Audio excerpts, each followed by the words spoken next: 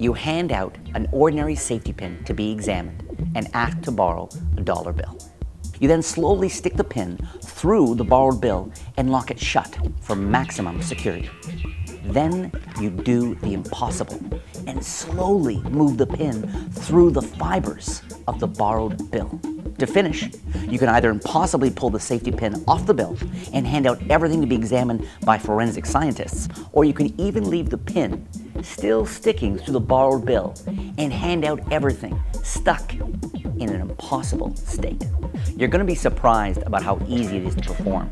And Punkture really is one of those great anytime, anywhere effects because it works with playing cards, works with dollar bills. It's also an amazing way to hand out your business card. I've even performed Punkture many times in complete silence because the visual elements of the trick are so powerful and so convincing, they do a beautiful job of conveying the magic without me even saying a word.